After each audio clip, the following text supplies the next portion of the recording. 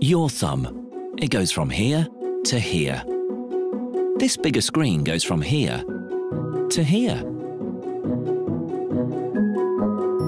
Now, that's either A, an amazing coincidence, or B, a dazzling display of common sense. Pretty sure it's the common sense thing.